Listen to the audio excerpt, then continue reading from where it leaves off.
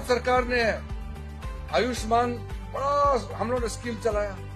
पाँच लाख पाँच लाख तक एम्पैनल्ड हॉस्पिटल में पैसा खर्चा भी भारत सरकार देता है। ऊपर से यहाँ स्टेट गवर्नमेंट की तरफ़ से भी एडिशन करके चीफ मिनिस्टर का आरोग्य योजना से भी ऐड करता है।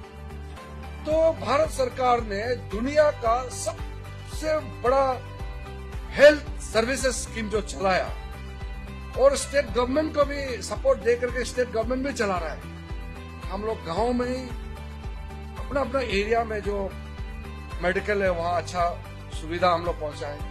सही समय पे इलाज हो जाए, ताकि वो यहाँ ईटानगर आना ना पड़े छोटा छोटा केस के लिए। या ठीक समय में इलाज नहीं करने की वजह से बीमारी बड़ा हो जाता है, ऐसा ना हो।